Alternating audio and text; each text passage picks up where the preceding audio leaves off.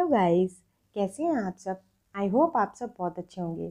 मैं एकता स्वागत करती हूँ आपके अपने YouTube channel Khana on demand में। आज मैं आपके साथ मलाई कोफ्ता की रेसिपी शेयर कर रही हूँ, जो बहुत डिलीशियस होती है। ईजिली आप इसको बना सकते हैं। बस बनाते समय कुछ बातों को ध्यान में रखना होगा। एंड आई एम श्योर आपको बहुत ज़्यादा पसंद आएगी ये रेसिपी एक बार ज़रूर ट्राई कीजिए। फ्रेंड्स आगे बढ़ने से पहले मेरी आप लोगों से रिक्वेस्ट है। जो भी इस चैनल पर नए हैं प्लीज़ चैनल को लाइक एंड सब्सक्राइब ज़रूर कीजिए। बेल आइकन को भी प्रेस कीजिए सो दैट मैं जो भी नया वीडियो अपलोड करूँगी, उसका नोटिफिकेशन आपको मिल जाएगा। देखते हैं रेसिपी को। इसके लिए सबसे पहले मैंने ये कढ़ाई में ऑयल डाला है, क्योंकि ग्रेवी को तैयार करना है। ये क्यूमिन सीड ये ग्रीन चिली जिसको मैंने बीच से कट कर लिया था। थोड़ा सा ये जिंजर जिसको मैंने रफली चॉप कर लिया है। ये लहसुन थोड़ा सा सॉटे कर लेंगे सभी चीज़ों को।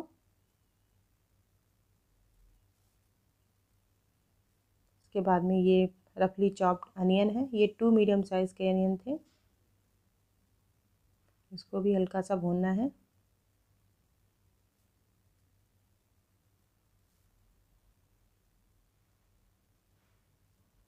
ये टमेटो है। इसको भी मैंने डाल दिया है, टमाटो की क्वांटिटी आप अपने अकॉर्डिंग कम या ज़्यादा कर सकते हैं। थोड़ा सा सॉल्ट मैंने ऐड किया है, जिससे कि ये बहुत जल्दी कुक हो जाएँगे।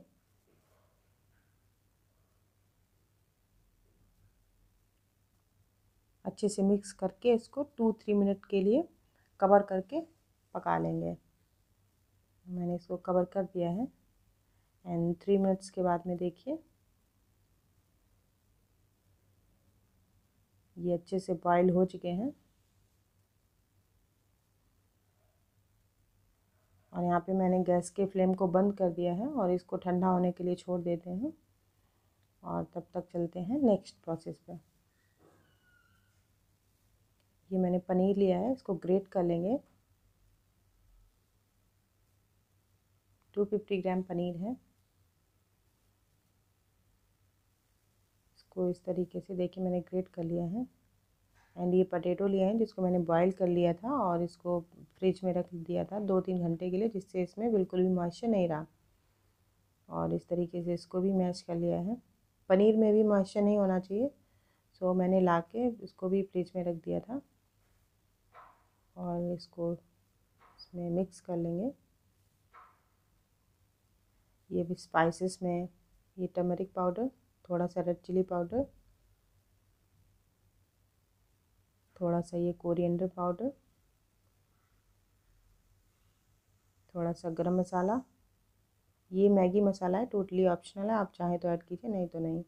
ये, थोड़ा सा सॉल्ट थोड़ा सा ये चॉप्ड कोरिएंडर लीव्स एंड ये कॉर्न फ्लोर है। ये मैंने एक स्पून डाला है एंड ये बेसन। आप चाहें तो इसकी जगह पे मैदा भी यूज़ कर सकते हैं बट मैंने इसको रिप्लेस कर दिया है बेसन से। आप चाहें तो मैदा यूज़ कर सकते हैं, आपके ऊपर है। अच्छे से मिक्स कर लेंगे सारे इंग्रेडिएंट को। और इसको इस तरीके से डो की फॉर्म में लाना है। अगर थोड़ा सा आपको कम लग रहा है तो आप एक एक स्पून करके इसमें और भी डालते जा सकते हैं बेसन को। और इस तरीके से आपको डो के फॉर्म में लाना है इसको। ये डो बन गया है और ये मैंने थोड़ा सा कैश्यू लिया है फिलिंग के लिए। एंड ये थोड़ा सा सूखा आटा है। और इसमें से इस तरीके से थोड़ा सा मिक्सचर लेंगे। और इस तरीके से आपको इसको फैलाना है। और इसमें ये कैश्यू फिल कर देंगे। और इसको इस तरीके से बंद कर देंगे। आप चाहें तो बिना फिलिंग के भी बना सकते हैं, बट इससे बहुत, जो टेस्ट है आपका, बहुत ज़्यादा इन्हेंस हो जाएगा। इसलिए मैं इसको फिल कर रही हूँ। इस तरीके से अच्छे से बॉल बना के इसको और इसको सूखे आटे में डिप कर लेंगे। इस तरीके से इसको रख देंगे एंड फाइव मिनट रखने के बाद में इसको फ्राई करेंगे। जो सूखा आटा लगा है, इसकी वजह से तेल में डालने से क्या होगा, ये फटेंगे नहीं। इसलिए ये सूखे आटे में डिप करना ज़रूरी है। तरीके से सारे जो भी कोफ्ते बनाए हैं और बहुत ही आपको केयरफुली इनको सेंकना है। इसको डालने के बाद में आपको टू मिनट तक चट, टच बिल्कुल नहीं करना है, नहीं तो ये टूट सकते हैं और आपका जो गैस का फ्लेम है वो मीडियम होना चाहिए, बहुत ज़्यादा हाई भी नहीं और बहुत ज़्यादा लो भी नहीं। और इसको बहुत ही हल्के हाथ से इस तरीके से चलाएँगे। क्योंकि बहुत मुलायम, बहुत ज़्यादा ही सॉफ्ट बनते हैं तो आपको केयरफुली करना है। इस तरीके से, और ये निकाल लेंगे। टिश्यू पेपर पे मैं इसको निकाल ले रही हूँ।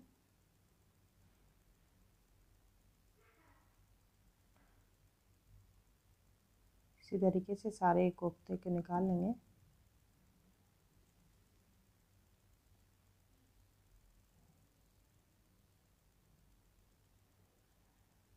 तरीके से।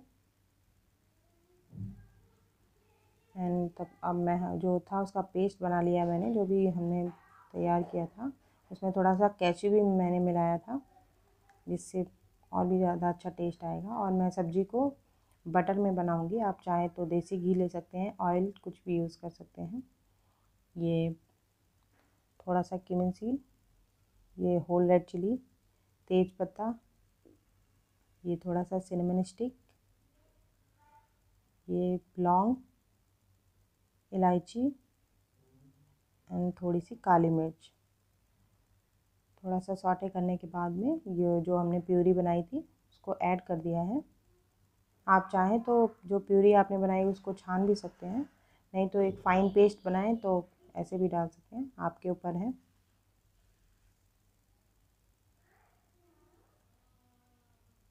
अच्छे से चलाएँगे इसको।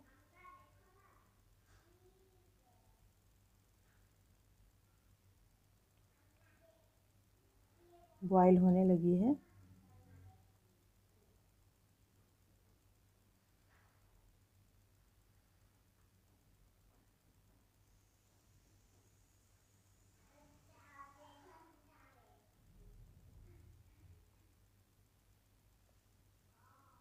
ये स्पाइसेस में ये टर्मरिक पाउडर थोड़ा सा coriander powder red chilli powder garam masala mix कर लेंगे।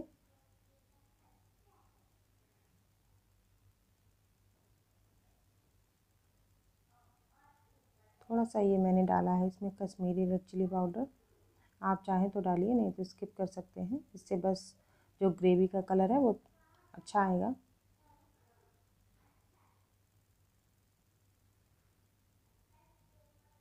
ये थोड़ा सा मैंने ये यहाँ पे ऐड किया है मसाला, ये कढ़ाई पनीर मसाला है। आप चाहें तो ऐड कीजिए, नहीं तो स्किप कर दीजिए।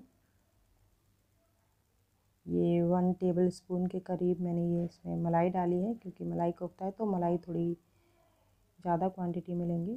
थोड़ी सी ये मैंने कसूरी मेथी डाली है। बहुत अच्छा टेस्ट आएगा इससे और अच्छे से मिक्स कर लेंगे इसको।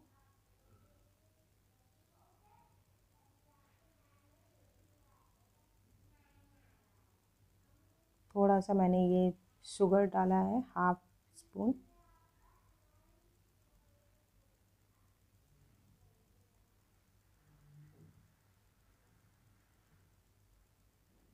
जब ये अच्छे से बॉईल होने लगेगी। यहाँ पे मैं इसमें सॉल्ट ऐड कर रही हूँ एज़ पर योर टेस्ट आप इसमें ऐड कर सकते हैं।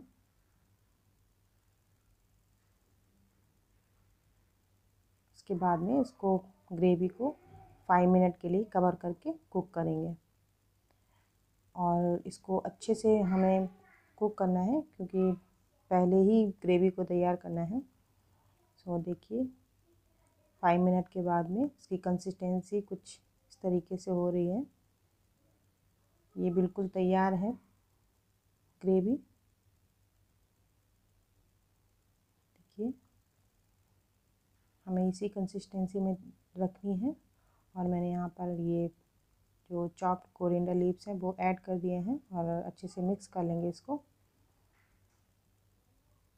जो कोफ्ते हमने बनाए थे, वो इसमें नहीं ऐड करेंगे, नहीं तो वो पूरे टूट जाएँगे।